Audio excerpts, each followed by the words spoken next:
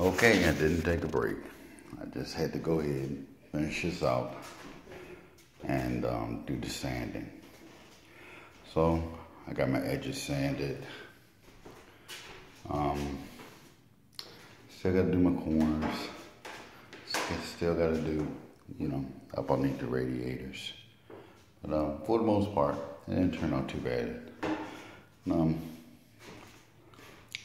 started out with a 38 grit and worked my way up to a 100 120 grit. And um, 220 is just too soft. But um, at any rate, here we are. And it looks like for the most part, we're further along than what we were when we first started this project. So, at any rate, everything every day brings a new surprise, right? So, we'll see what happens. We see where we go. Stay tuned. Absolutely, absolutely, more to come. Okay, guys, take care.